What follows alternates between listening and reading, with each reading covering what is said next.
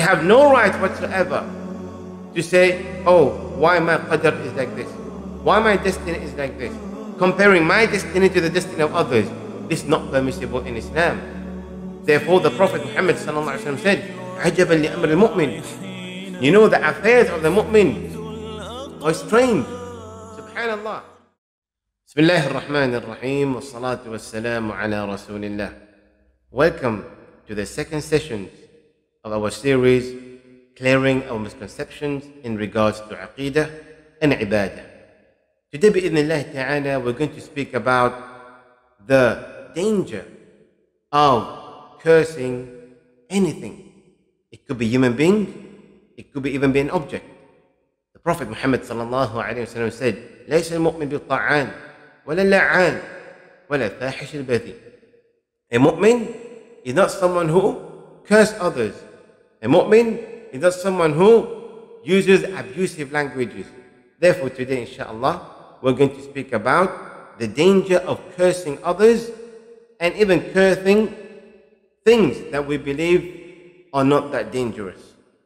We'll start bi'idhnillah ta'ala by the cursing of the Sahaba.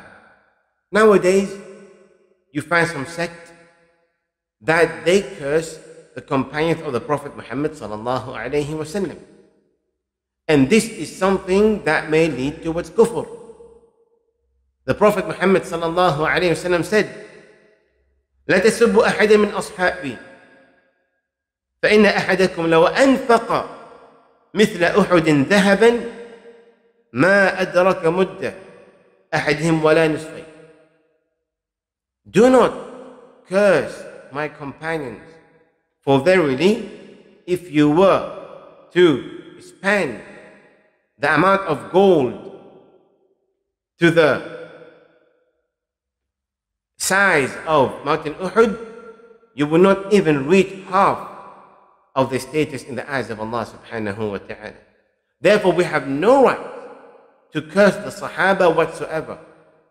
This is the creed and the aqidah that we deduce from the Quran and the Sunnah of the Prophet Muhammad sallallahu alayhi wasallam. Look what Ibn Mas'ud radiallahu anhu said. He said, إن الله نظر في قلوب العباد بعد قلب محمد فوجد قلوب أصحابه خير قلوب العباد فجعلهم وزراء نبيه الله Ibn Mas'ud الله عنه said For verily Allah subhanahu wa ta'ala looked at the heart of his slave. And then he chose the Sahaba of the Prophet Muhammad sallallahu alayhi wasallam to be his companion.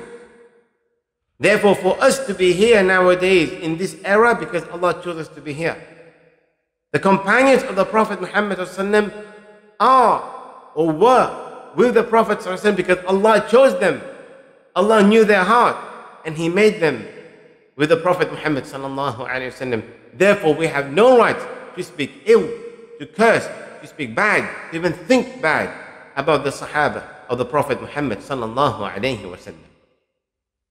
Number two, it is forbidden to curse those who passed away.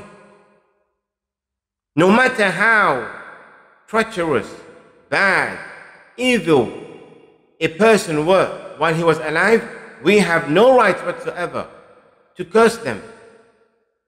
Which the words la'na should not be coming out of our mouth because we are mu'min. We believe in Allah subhanahu wa ta'ala. فالنبي صلى الله عليه وسلم said لا تسبوا الأموات فإنهم قد أفضوا إلى ما قدموا I mean do not curse those who pass away for verily they have already reached a place where you haven't reached yet Therefore, what we do is that if ever we know such deceased person has done something wrong, we keep quiet. We consider their faults. We ask Allah subhanahu wa ta'ala to forgive them. We have no right whatsoever to speak ill against someone who has passed away. And even the Prophet Muhammad sallallahu alaihi wasallam emphasized upon we speak good about those people who passed away. Misconception number three when it comes to cursing. Cursing of the rih. Sabbur rih means cursing of the wind. Remember that the wind comes from who? From Allah subhanahu wa ta'ala. For the wind, when it comes, it comes with الرحمة. Like how the Prophet Muhammad صلى الله عليه وسلم said, الريح من الله تأتي بالرحمة أو تأتي بالعذاب فإذا رأيتموها فلا تسبوها واسألوا الله خيرها واستعيذوا بالله من شرها For verily when the wind, you know, you hear the, the blowing of the wind or you feel the wind that comes, ask Allah subhanahu wa ta'ala for the khair of it. Seek refuge in Allah Azza wa again the evil of it. Because when a rih comes, when the wind comes, it either brings rahmah or it brings the punishment of Allah subhanahu wa ta'ala. And we know very well the ummah before had been destroyed by wind and winds is one of the, is one of the soldier of Allah subhanahu wa ta'ala. Cursing the destiny.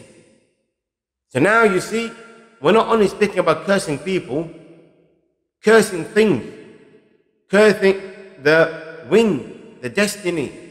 All these are not permissible. Let's say about cursing the destiny. We have no right whatsoever to curse our destiny or the destiny of someone else. Al-Qadr was written, written by who? By Allah subhanahu wa ta'ala. Anything good you're happy with, Alhamdulillah. If you're not happy, whatever is happening to your life, say Qadarullah ma shafa'al. It is something that has been written and Allah does what He wishes. We have no right whatsoever to say, oh, why my qadr is like this? Why my destiny is like this? Comparing my destiny to the destiny of others. This is not permissible in Islam. Therefore, the Prophet Muhammad said, عَجَبًا لِأَمْرِ الْمُؤْمِنِ You know, the affairs of the mu'min are strange. Subhanallah. If something good happened to them, they are thankful to Allah. If they're afflicted by a calamity, they are patient. وَكُلُّهُ خَيْرٌ And everything is good. Just alhamdulillah for each and every matter that happened into your life.